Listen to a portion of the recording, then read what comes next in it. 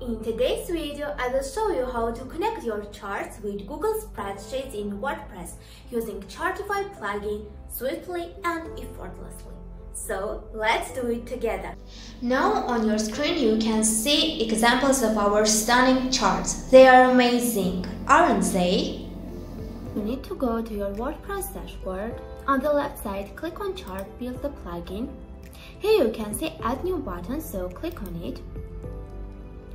Chartify plugin provides you with 8 types of charts, so you can choose the type that you need. I will choose pie chart. Here you can see title field, so fill in your title. Chartify plugins also provides you with three sources for connecting your charts with Google Sheet or connect to database or manual data. So I will choose connect to Google Sheets. Here you can see these hyperlinks, so click on it. As you can see, you need Google Client ID and Google Client Secret. If you already have Google Client ID and Google Client Secret, you can just fill in the fields, but if you don't, let's create them together.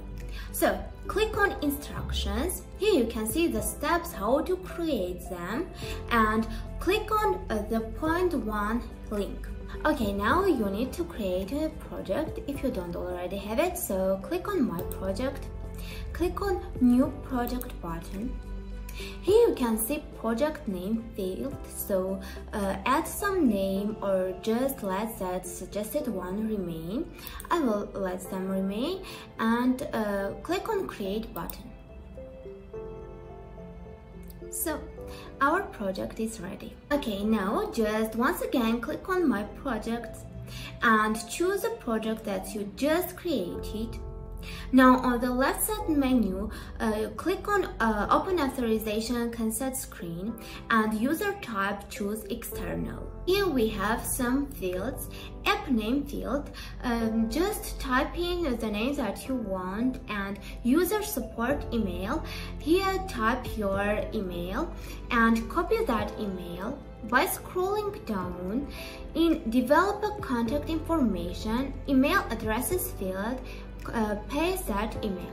Click on Save and Continue button. Leave the next uh, two steps, scopes and optional information if you don't uh, fill that fields uh, by uh, clicking on Save and Continue button. After that is summary uh, of your actions. So if everything satisfies you, just click on back to dashboard button. After that, click on publish app button and if everything is okay just click on confirm. As our new made it project is in the process so i will do the next steps uh, with my uh, ready-made project for not wasting your time so click on credentials on the left side menu, uh, click on create credentials and choose open authorization client ID type. Here you have application type, so choose web application. After you have name field, just uh, you can write some name or let the uh, suggested one remain.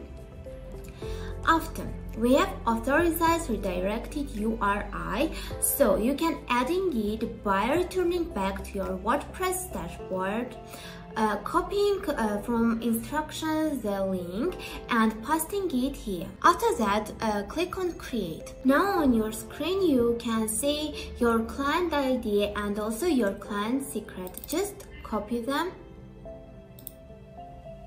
and pass them on your dashboard. And on the dashboard, click on connect button. Here you can see your account. Click on it. Click on continue button. And just make all suggestions enable. That's all. Now go back to your Google Cloud page and click on uh, Enable APIs and Services on the left side menu. On the top menu, click on Enable APIs and Services. Here you should uh, search Google Drive API and uh, Google Sheets API and enable them. After enabling your Google Sheets and Google Drive APIs, return back to your WordPress dashboard, click on Chart Builder on the left side menu and choose a chart that you have just created.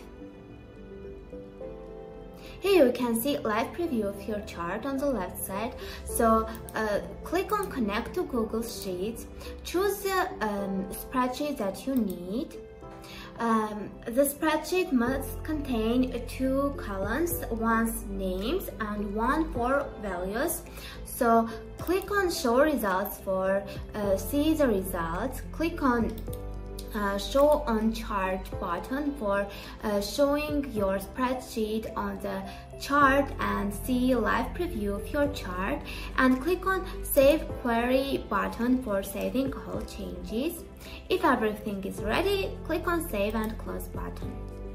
Here you also can see shortcode. Um, uh, copy your shortcode as we want to preview your chart. Click on posts, all posts, add new button. Here you can see add title so um, you can write some title uh, for example chart. And paste uh, your shortcode here. Click on preview. Preview in new tab. And that's all. Our chart is ready so now you have a dynamic chart. Do some changes on your Google Sheets and you can see the result on your charts easily and minutely. Thank you very much for watching guys. See you soon. Bye.